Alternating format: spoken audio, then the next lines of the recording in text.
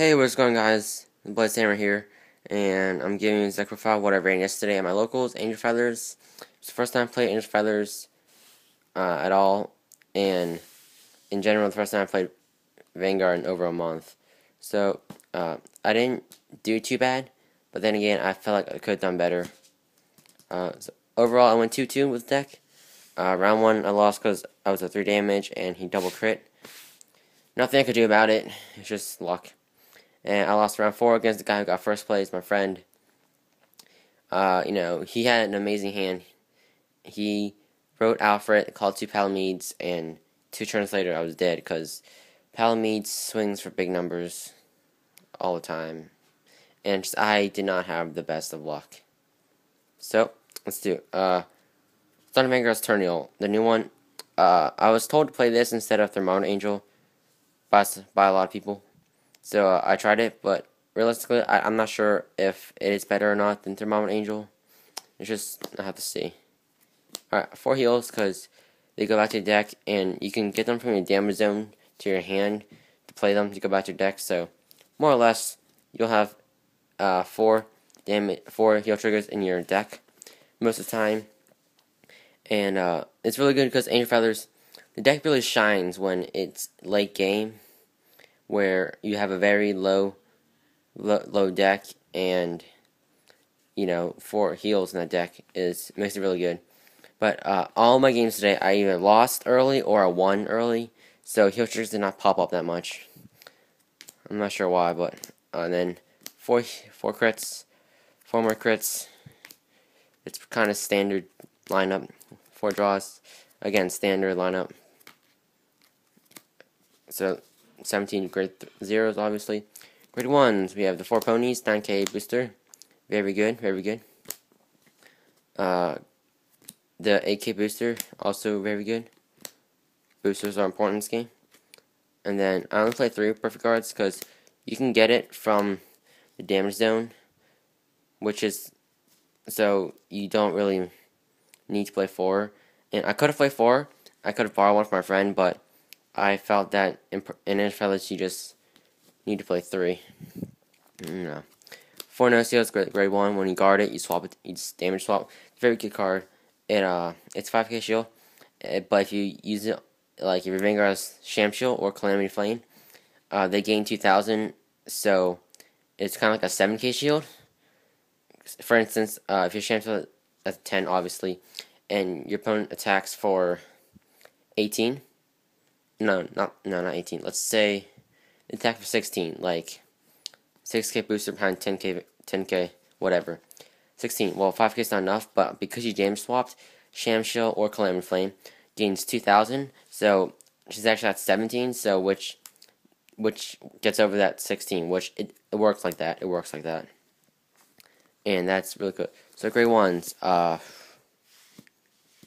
15 grade ones.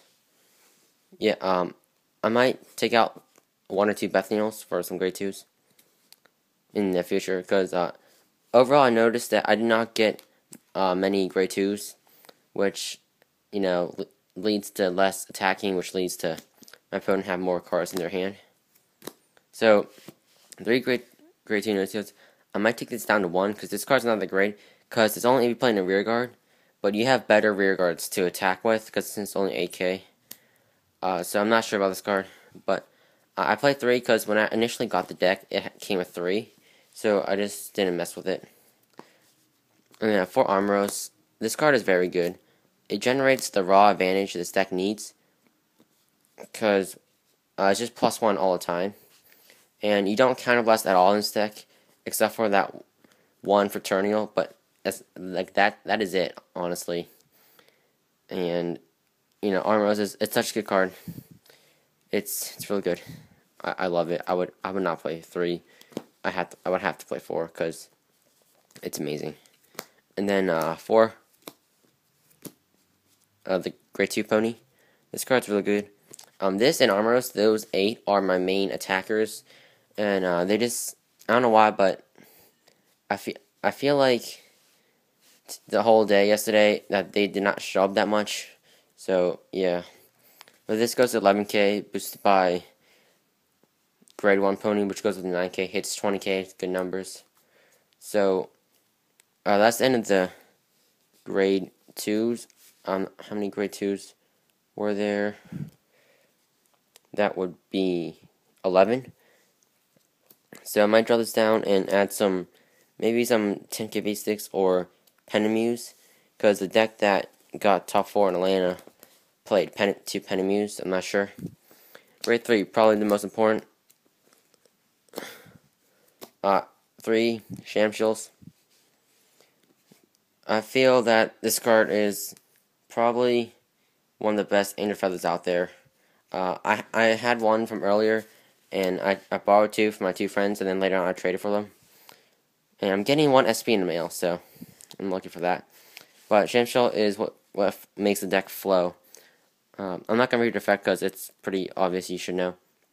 Uh, she is amazing.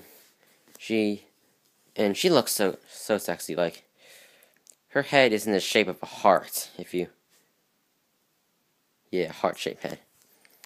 And uh, I overall I did I did draw this enough. Honestly, I don't think I need to play four. I, I drew this quite a bit. I only ran, I only rode one Calamity Flame, and the next turn I overrode with Shamsiel.